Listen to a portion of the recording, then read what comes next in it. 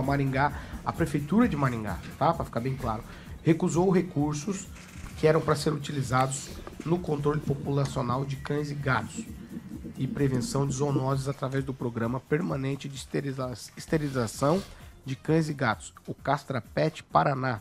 Ele é promovido pela Secretaria de Desenvolvimento Sustentável com o apoio das prefeituras, mas sem contrapartida financeira municipal. A recusa ocorreu após o contato da SEDEST com o município, que alegou não precisar dos recursos. Maringá participou do programa no primeiro ciclo com 271 com 271 castrações. E aí, Ângelo Rigon, é, de acordo com o SEDEST, os municípios que desejam realizar castrações devem entrar com a solicitação junto à secretaria ou aos deputados estaduais para liberação de recursos. No caso de Maringá, a informação é de que não seria necessária a verba, mas a recusa é, não foi formalizada a secretaria. Da onde vem esse dinheiro? Porque me parece você tem que pedir para deputado a emenda. E a gente volta naquele assunto antigo também. Então, Mas tem emenda é modo de dizer. não existe. Emenda é modo é, de é, dizer. não, só pra gente entender. Ah, porque Tem vai que começar tudo de novo. Não, não, não, não, não. Não é. Não precisa nem falar sobre isso. Só tô esclarecendo.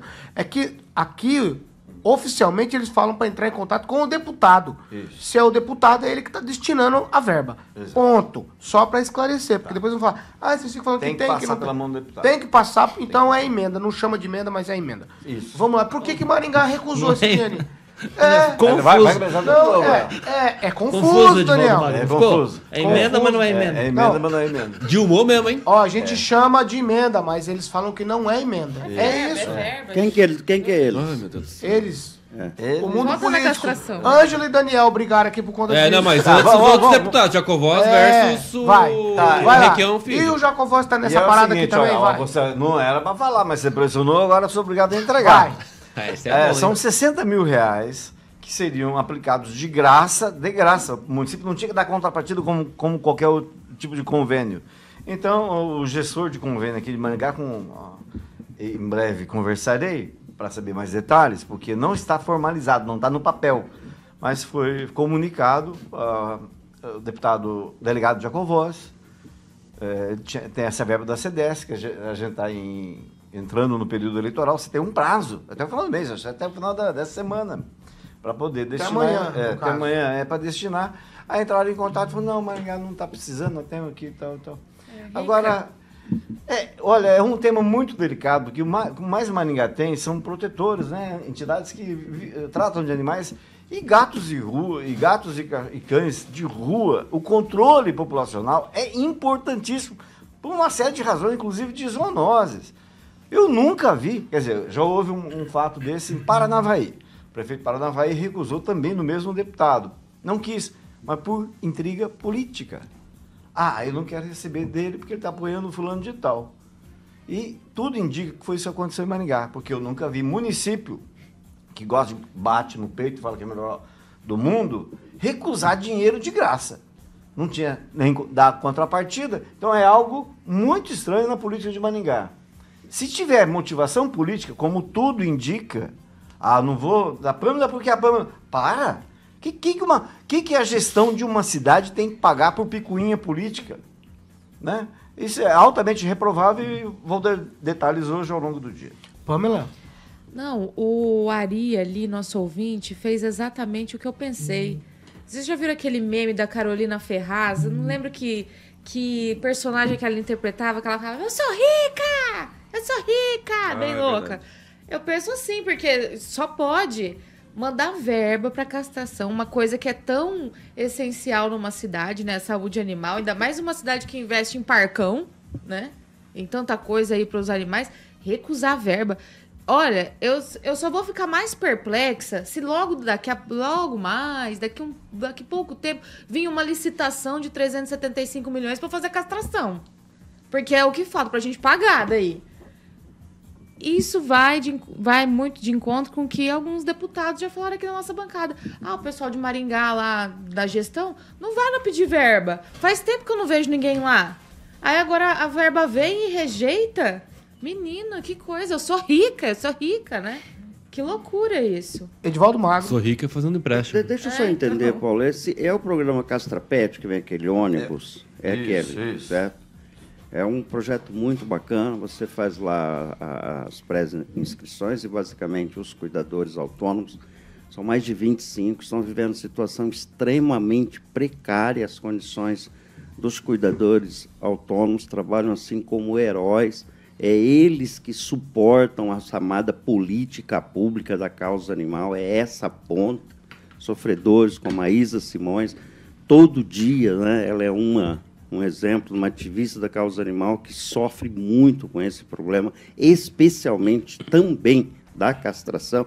Quando vê esse tipo de, de, de declaração aí, ela confronta, ela contradiz uma coisa que a administração eh, bate no peito, que avançou bastante. E há que reconhecer que, certa, desde 2017, segundo o da prefeitura, foram mais de 40 mil castrações. Há que reconhecer que houve avanço, sim, na causa animal. Mas quando você vê elementos como esse, que vamos acreditar que não seja, viu, Rigon, que não seja uma intriga política, porque daí fica muito raso essa relação da gestão municipal com uma causa tão importante quanto é essa questão da, da, da, da, da redução da população de animais na, na, nas ruas.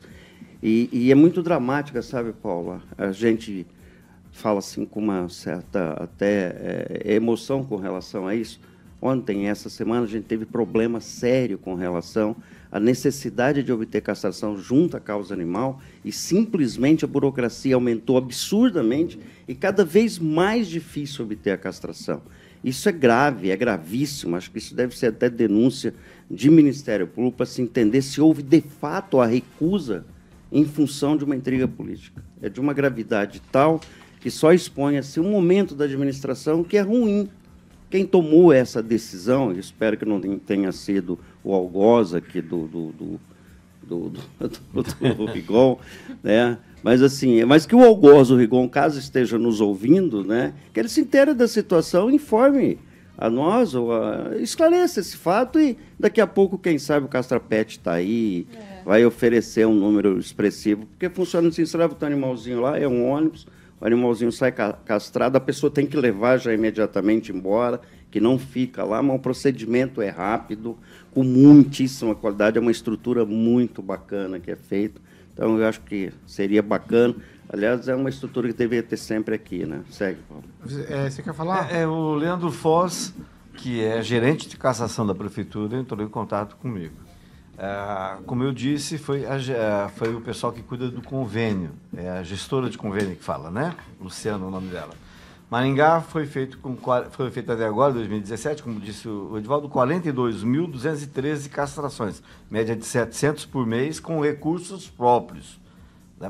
De, qualquer forma, não muda, não muda a coisa. Por quê? Conheço gente que está na fila há seis meses como porteiro de um prédio aí para castrar o gato. Pois é. Então, esse dinheiro justifica. viria numa boa hora. Não, nada justifica recusar dinheiro de graça. Daniel, só para arrematar, vai. Maringá, no primeiro, no primeiro circuito desse projeto, participou, Paulo. Foram 271 castrações. E aí, agora, declinado o recurso, tão difícil vir o dinheiro e o município recusar, né? São fatos que a gente espera que não seja picuinha política, porque quem sai prejudicado é o cidadão que está lá na fila para fazer a castração do seu animalzinho. E um dinheiro desse pode parecer pouco, 60 mil, mas pelo menos uma grande, mais de duas centenas ali de animais poderiam ser castrados sem sair do cofre da Prefeitura de Maringá. Então, recusar um dinheiro por picuinha política, como diz o Edivaldo, é, é muito raso, né? Não dá nem para acreditar que pode estar acontecendo isso na nossa cidade.